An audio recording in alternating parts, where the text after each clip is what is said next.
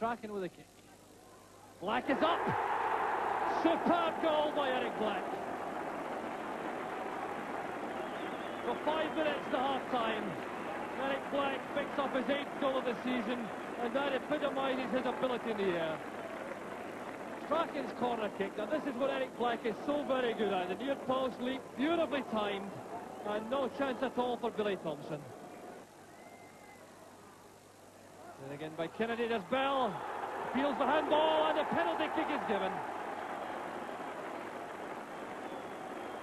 St Mirren players crowding round referee Valentine.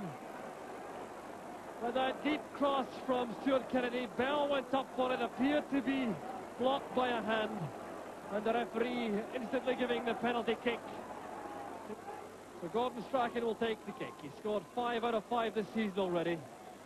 Strachan against Thomson. 2-0 to Aberdeen. Strachan's 13th of the season. 21 minutes of the second half gone. Beautifully taken penalty kick. Driven in past Thomson's right hand, giving the keeper no chance at all.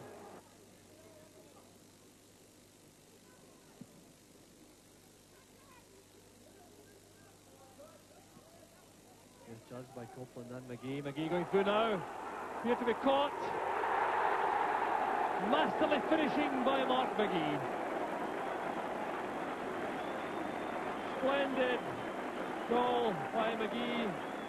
His 11th of the season. And he goes onto this ball really quite superbly because he appeared to take a knock as he went forward. Kept his head, kept his control. And as Thomson advanced, slid it beautifully past him. Abercromby flights that in. Too high for McDougall. Kept in by Cooper for Strachan. Taking on McDougall for pace. Well, that's a marvellous pass. Hewitt in the clear. Great chance for Aberdeen. The perfect finish for Aberdeen.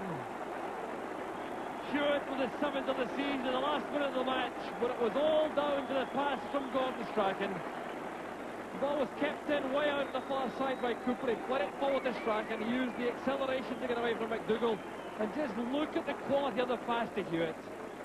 And from then on, the finishing was there to match.